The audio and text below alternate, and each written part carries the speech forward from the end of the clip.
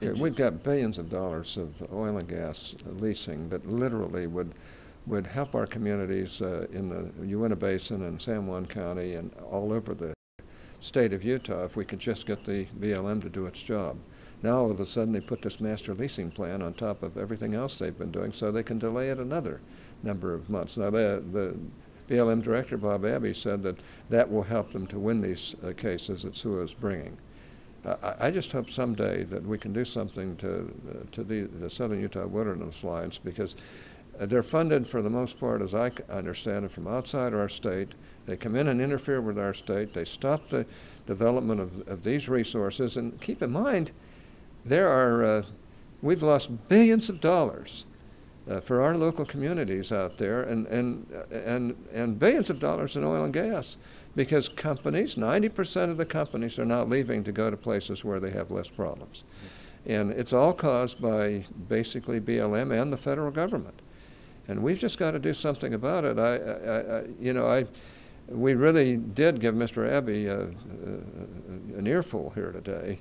And hopefully he'll take it back and talk to the secretary and see what they can do. But I've got to tell you, we could help this country immensely if we could just drill for and obtain our oil and gas that we have right there in Utah.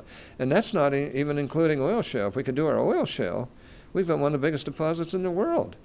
And uh, I can tell you right now, Estonia's been doing it for how many years? 20 decades now, uh, getting uh, oil in, out of uh, oil shale and tar sands. And if Estonia can do it, why can't we do it? And we are doing it, but we're having to do it on private, uh, you know, on state lands rather than uh, be able to do it where really all the oil oil really is. And we've just got to do a better job. And all I can say is it's very dis- disconcerting to me to have so many bureaucrats uh, interfering with everything we're trying to do.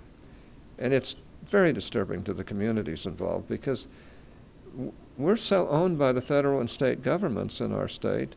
It locks up an awful lot of the land. We can't get the uh, we can't get the uh, leases to be able to do what needs to be done.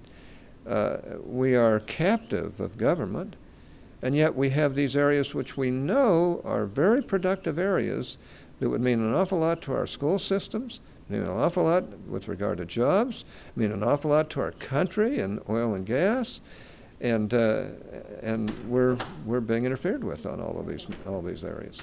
First of all, we do appreciate Senator Hatch in organizing, putting together this meeting today. This, I, I believe, will be very valuable, very helpful. We appreciate our other congressmen and also Senator Lee uh, attending the meeting as well today, and, and appreciate the invitation being here. But you know what really brought us here together uh, had a lot to do with the master leasing areas. There's 2.9 million acres that's being proposed in the state of Utah, about 600,000 acres in Uintah County. We have a lot of concern about that because essentially that takes these lands off of the table for development, at least until there's plan amendments.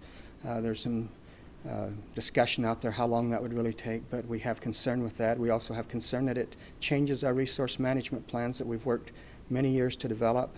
And so we do appreciate uh, a listening ear. We do appreciate, uh, again, our legislators in, in trying to help us with this issue. Appreciate uh, Director Abbey uh, listening to us today, and we hope that uh, there will be a good outcome that comes from this.